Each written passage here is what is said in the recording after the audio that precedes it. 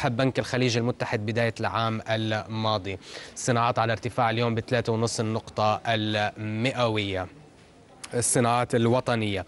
أما بالنسبة طبعا للكويت الوطني آه، البنك الكويت اليوم على ارتفاع بواحد في المئة. بيتك على استقرار برغم من أنه بيتك أيضا على قيم تداولات جيدة بخمسة ونصف مليون آه، دينار. لكن أبرز خبر طبعا آه، كان سمعناه يوم أمس عن كيبكو وسحب الصناعات المتحدة من إدراجها في السوق.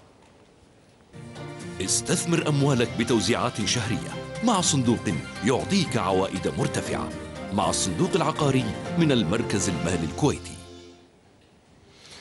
وللمزيد حول تداولات السوق الكويتية ينضم إلينا مباشرة من الكويت السيد عمر النصر الله محلل الأول في مجموعة إدارة الأصول كامفك. أهلا بك أخ عمر ولنبدأ بالحديث عن القيم التداولات المرتفعة جدا في جلسة هذا اليوم أكثر من 50 مليون دينار كويتي. وكما ذكرنا وطني بيتك أجيلتي هذه الأسهم الثلاث الأكثر نشاطا من حيث القيمة. كيف تفسر ذلك؟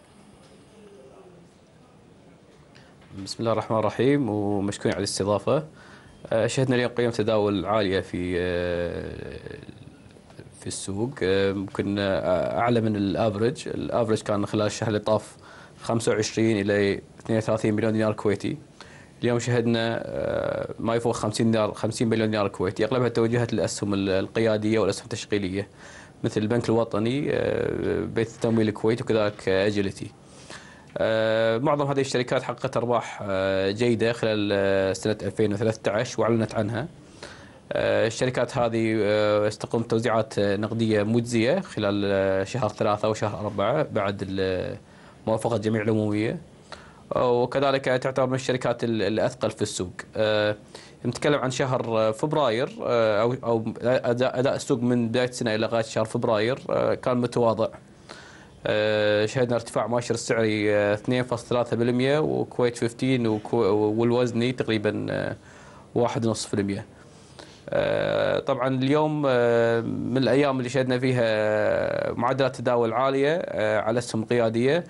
وإن شاء الله تكون آه، بداية خير على الاسهم على الأيام الجاية إن شاء الله. طيب آه، إذا ما نظرنا للسوق الكويتي من حيث مكررات الربحية وال price to earnings ratio، كيف تنظر إلى السوق الكويتية مقارنة بأسواق المنطقة الأخرى؟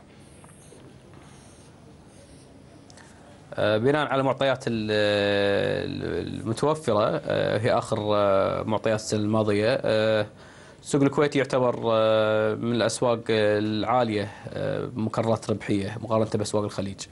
تقريبا ال P/E ratios مجموع السوق 19.9 times أو multiples تقريبا 20 مرة.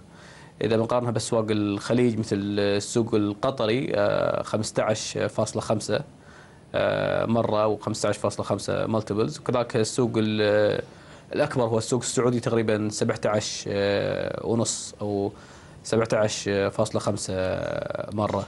آه، هذا هذا دل يدل على إن الأسعار الأسهم ما زالت آه، غالية مقارنة باسواق الخليج. آه، فنحن بانتظار إعلان أرباح 2013 من خلالها سيتم الاستنتاج والتبين فيما إذا هذه الأسهم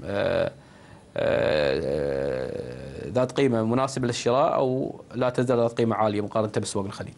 طيب هل تعتقد بأنه بعد ما سمعنا يوم أمس ترسية آه، مناقصة مشروع الوقود البيئي لشركة البترول الوطنية على ثلاث شركات كويتية قيمة هذه العقود ب 3.4 مليار دينار كويتي آه، هل تعتقد بأنه هذا سينعكس إيجابا ربما على حركة على الدورة الاقتصادية على حركة الأسهم في السوق بما أنه يبدو بأن الحكومة ماضية قدما بهذه المشاريع الضخمة التي آه، طال انتظارها؟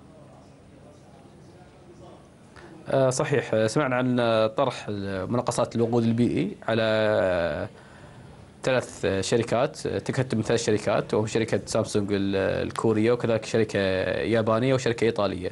مجموع هذه المناقصات آه، بلغ 3.9 مليار دينار كويتي وتعتبر من المناقصات الضخمة.